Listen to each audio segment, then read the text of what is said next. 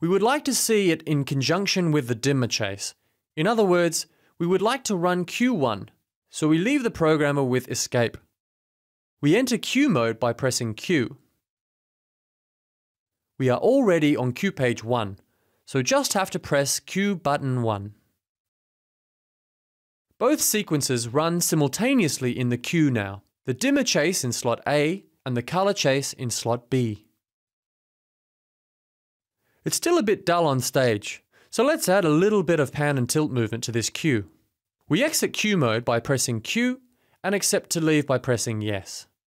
As before, we press fixture and reselect the MX10s.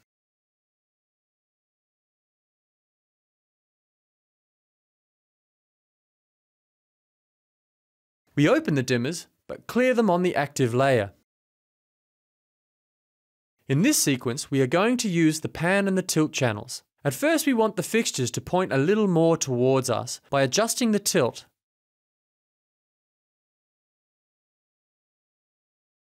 This will do. Then we adjust the pan channels to make the fixtures point to the left.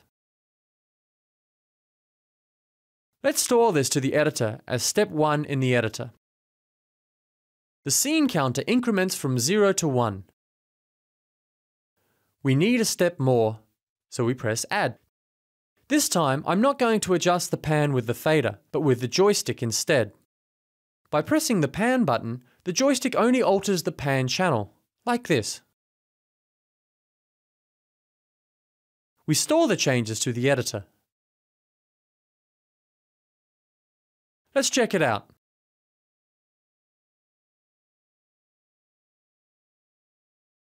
If we are not completely satisfied with this look, we can easily adjust it. We want a larger spread, so we have to adjust the pan in both step 1 and 2. That's easy. We simply grab the joystick and adjust it.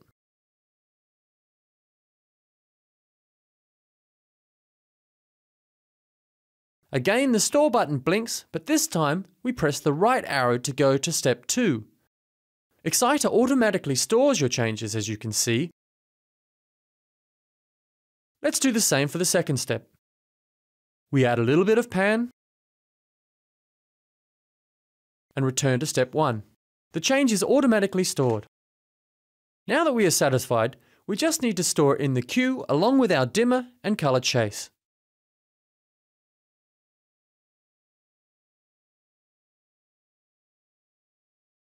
We do exactly as we did before and select slot D in Q1 and confirm with Enter. We accept the default name and press Enter again. Now it's time to see the final cue. Let's exit the programmer and enter queue mode. We launch the queue. See how all three sequences run simultaneously.